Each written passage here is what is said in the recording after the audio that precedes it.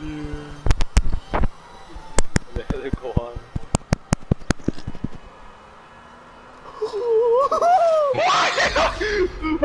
Why did I pick?